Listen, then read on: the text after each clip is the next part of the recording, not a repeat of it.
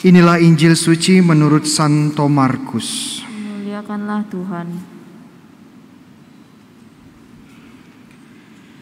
Setelah Yesus dimuliakan di atas gunung, ia dan murid-muridnya melintas di Galilea.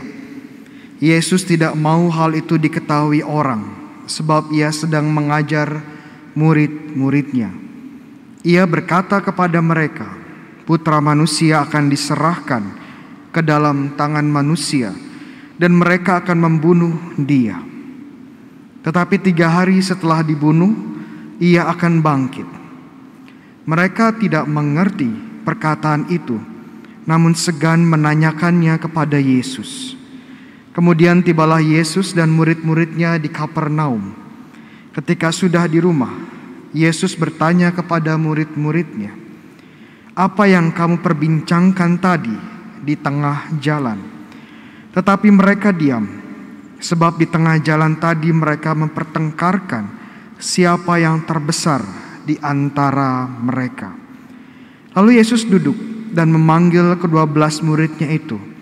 Katanya kepada mereka, jika seorang ingin menjadi yang pertama, hendaklah ia menjadi yang terakhir dari semuanya dan menjadi pelayan dari semuanya. Yesus selalu mengambil seorang anak kecil dan menempatkannya di tengah-tengah mereka. Kemudian ia memeluk anak itu dan berkata kepada mereka, "Siapa saja yang menyambut seorang anak seperti ini dalam namaku, ia menyambut aku. Siapa saja yang menyambut aku, sebenarnya bukan aku yang mereka sambut, melainkan Dia yang mengutus aku." Demikianlah sabda Tuhan. Terpujilah Kristus. Saudara-saudari yang terkasih dalam Kristus, ini bulan September ya, bulan Kitab Suci Nasional dan seperti biasa sebelum saya memulai homili saya, saya akan sedikit membahas tentang Kitab Suci secara umum ya. Tahu nggak di Perjanjian Lama ada berapa buku ya?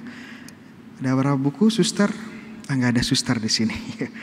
ya, ada 46 ya. Jangan lupa ya, ditanya 46 ya. Tahu nggak dalam tradisi gereja Katolik buku Perjanjian Lama dibagi dalam berapa bagian besar atau dibagi dalam berapa kelompok besar? Ada yang tahu? Pisang, ya, jawaban benar dapat pisang. Ya. Dibagi dalam empat bagian besar. Ya. Bagian ini apa saja, Romo? Bagian yang pertama atau kategori pertama ini disebut sebagai buku-buku Musa atau yang disebut juga sebagai hukum atau Taurat.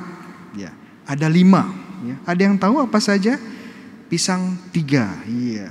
Yang pertama kejadian, keluaran ketiga, imamat keempat, bilangan dan terakhir ulangan. Iya, ada yang dapat pisang? Iya, nanti boleh diklaim ya.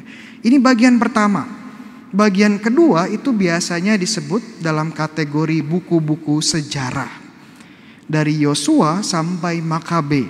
Ya, jadi ini cerita bangsa Israel, sejarah bangsa Israel yang mulai menetap di tanah Kanaan sampai kedatangan bangsa Yunani, ya, bangsa Romawi.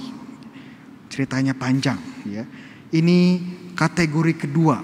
Buku-bukunya seperti Yosua, Hakim-hakim, ya, Samuel 1-2, ya, apalagi Tawarikh dan seterusnya. Kategori ketiga ada yang tahu? Buku-buku para para nabi. Ya. Jadi yang pertama hukum, kedua buku-buku sejarah, ketiga buku-buku para nabi. Siapa saja isinya? Ya ini juga dibagi dua lagi ya. Ada nabi besar sama ada nabi kecil ya. Nabi besar ada berapa? Ada empat juga. Nabi kecil ada berapa? Dua belas. Kenapa disebut nabi besar Romo? Karena badannya besar ya, bukan ya. Karena ini buku-bukunya relatif lebih panjang dari nabi-nabi kecil. Nabi kecil karena bukunya pendek-pendek, ya rata-rata pendek. Contoh nabi besar ada empat ya. Ada Yesaya, Yeremia, Yehezkiel, Daniel. Hafal? Ya, hafal ya. Contohnya Yesaya, ada berapa bab? Ada 66 bab. Wah, panjang sekali ya. Dan kategori terakhir ada yang tahu kategori apa? Buku-buku kebijaksanaan atau buku-buku hikmat. Contohnya buku Mazmur ya, buku Amsal, buku apalagi Kidung Agung dan yang lain-lain. Jadi ini pembagian dasar dari kitab suci perjanjian lama. Ya nanti kalau teman-teman ingin tahu lebih dekat lagi jangan lupa ya untuk join bergabung dengan Bible study-nya Romo Bayu ya. Jadi jangan lupa subscribe channelnya Romo Bayu di YouTube. Oke. Oke, sekarang kita masuk homilinya ya. Itu baru pengantar saja ya. Homilinya saya mengajak teman-teman berefleksi.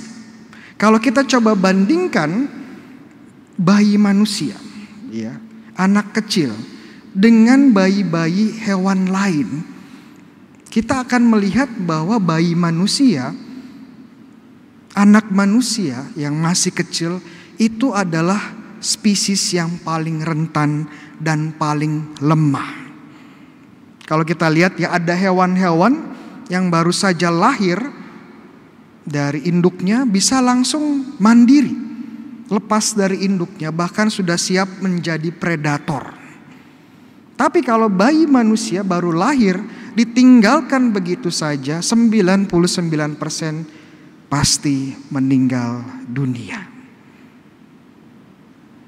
Karena bayi manusia memang rentan dan sangat tergantung dengan orang tuanya atau orang dewasa.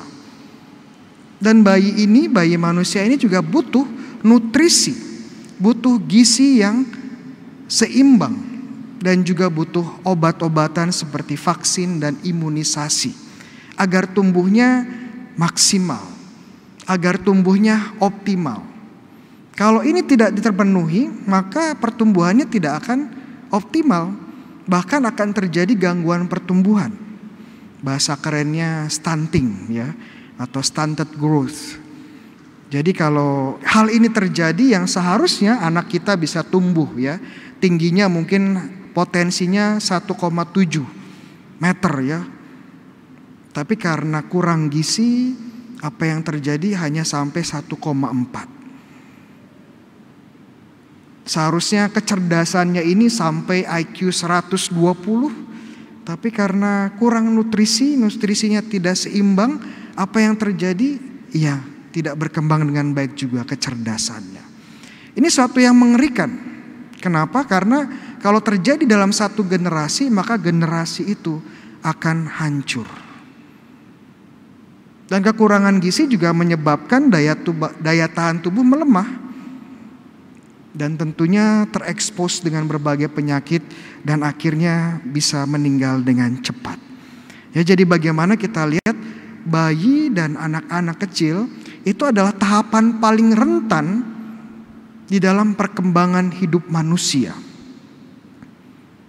Tapi kerentanan dari seorang bayi atau anak-anak kecil bukan hanya masalah makanan, masalah gizi atau kesehatan, tapi juga karena anak-anak kecil ini tidak bisa membela dirinya, anak-anak kecil juga yang paling terekspos pada berbagai macam pelecehan dan juga kekerasan.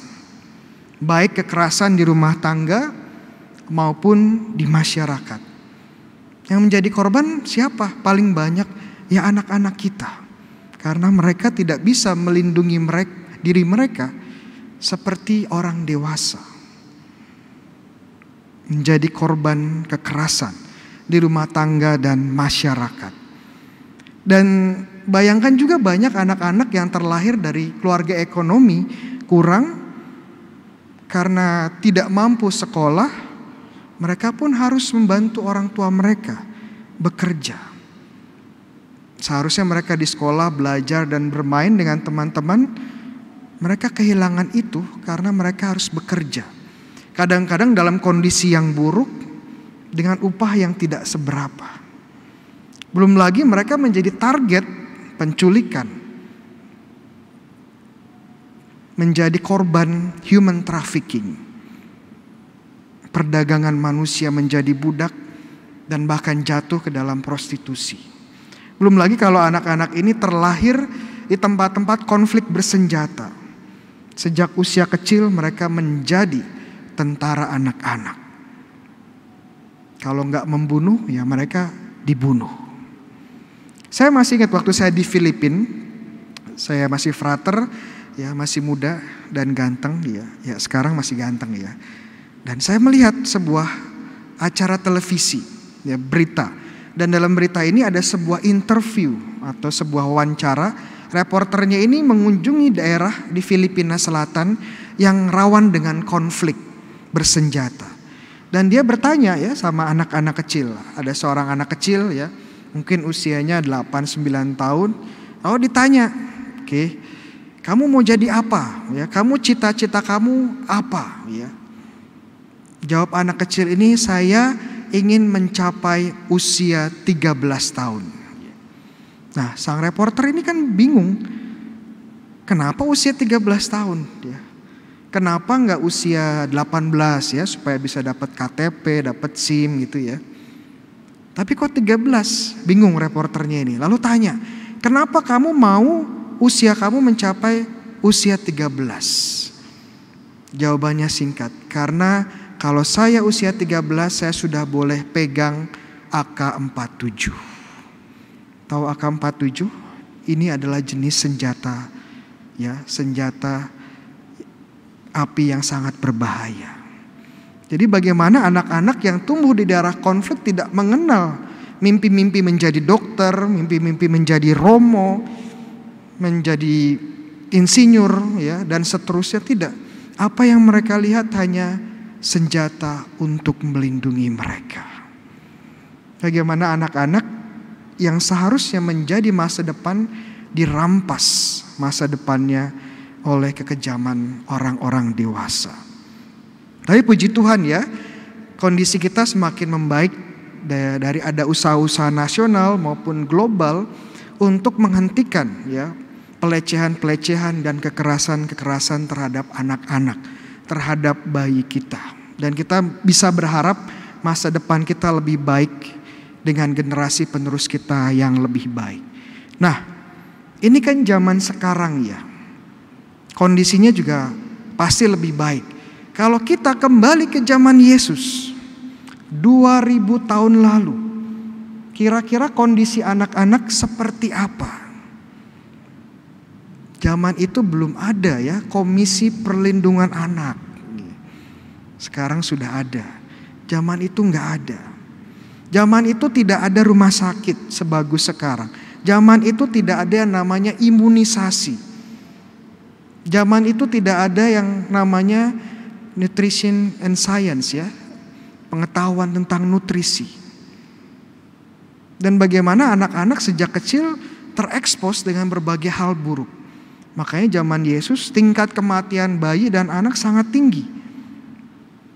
Anak-anak yang malnoris, kurang gizi sangat banyak. Dan bagaimana orang tua mereka ya banyak yang meninggal karena perang, kelaparan dan wabah. Dan mereka terekspos dengan berbagai hal-hal jelek. Belum lagi ada kebudayaan-kebudayaan yang pilih-pilih bayi. Maksudnya apa Robo? Jadi ada kebudayaan bayi lahir dilihat. Ini bayinya sehat atau tidak? Kuat atau tidak? Bisa menjadi pekerja atau tentara atau tidak? Kalau bayinya sehat, kuat, bisa bekerja, bisa menjadi tentara, hidup. Tapi kalau tidak sehat, cacat, sakit, langsung dibuang. Dibiarkan dimakan binatang. Belum lagi pada zaman ini ada kebudayaan di mana anak-anak menjadi tumbal dari dewa-dewi palsu. Ini adalah situasi yang mengerikan pada zaman Yesus. Jadi sekarang kita bisa melihat kata-kata Yesus dan tindakan Yesus merangkul dan menerima anak-anak adalah sebuah tindakan revolusioner. di mana anak-anak tidak ada harganya pada waktu itu, bagi Yesus mereka berharga. Waktu Yesus bilang kalau kalian ya menerima mereka anak-anak kecil seperti menerima saya, ya kalian menerima saya dan menerima Allah Bapa. Ini adalah kata-kata ajaran radikal pada waktu itu. Kenapa? Kita lihat lagi Injil, konteksnya apa? Konteksnya adalah orang para murid bertanya, siapa yang paling besar? Nomor satu siapa? Petrus, ya saya paling keren, ya saya paling hebat, ya enggak. Yakobus, ya saya yang paling tua di sini, ya macam-macam ya mereka ribut, ya pengen jadi nomor satu. Tapi Yesus bilang kalau kamu ingin jadi nomor satu, jadilah pelayan bagi semua. Dan kata semua itu termasuk yang paling lemah, yaitu anak-anak. Jadi Yesus bilang kalau kamu ingin jadi nomor satu, jadilah pelayan, termasuk melayani anak-anak yang lemah ini. Kenapa Yesus bilang bisa bilang seperti itu? Karena Yesus juga pernah jadi anak-anak. Dia pernah menjadi janin yang lemah di kandungan Maria. Dia lahir di mana? Dia nggak lahir di hotel bintang 5, ya, di rumah sakit berkelas, enggak. Dia lahir di sebuah kandang, sebuah gua yang kotor penuh dengan binatang. Dan hidupnya dikejar-kejar oleh tentara Herodes. Awal hidupnya saja sudah sangat mengerikan, ya, penuh dengan bahaya kematian. Mungkin dia tumbuh kadang-kadang tidak mendapatkan makanan yang cukup. Karena mungkin Yusuf pulang kerja ya tidak membawa banyak. Atau sejak kecil Yesus juga harus bekerja membantu Yusuf. Jadi Yesus sendiri merasakan betapa sulitnya, lemahnya menjadi seorang anak.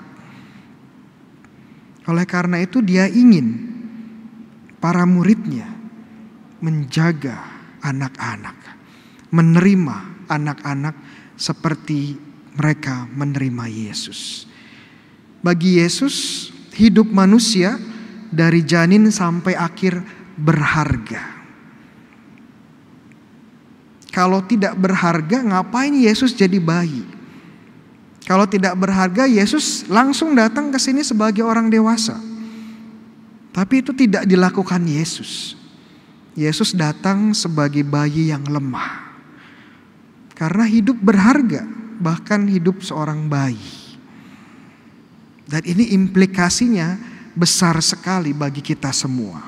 Ya, implikasi bagi pengikut Yesus ini besar sekali. Oleh karena itu kenapa gereja dengan tegas ya mengajarkan kesucian hidup, membela kehidupan anak-anak kecil bahkan sejak ada di janin, sebagai janin di rahim. Mengikuti Yesus juga berarti kita harus menentang bentuk-bentuk kekerasan terhadap anak-anak kecil. Termasuk yang namanya aborsi. Yang namanya pembunuhan terhadap bayi-bayi yang lemah. Ya. Kenapa?